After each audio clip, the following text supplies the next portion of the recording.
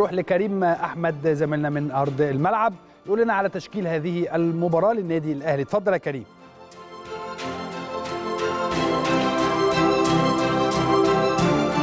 يمكن من خلالك كابتن إسلام ومن خلال ملعب الأهلي التشكيل الخاص بفريق النادي الأهلي في طبعا في حراسة المرمى الشناوي خط الظهر من اليمين للشمال أحمد فتحي ياسر إبراهيم أيمن أشرف علي معلول في المنتصف عمرو السولية حمدي فتحي على الأطراف جيرالدو ورمضان صبحي وصالح جمعة ووليد أزارو. الاحتياطي الخاص بفريق النادي الأهلي هشام محمد وليد سليمان علي لطفي حسين الشحات رامي ربيعة ومحمد هاني وجونيور اجاي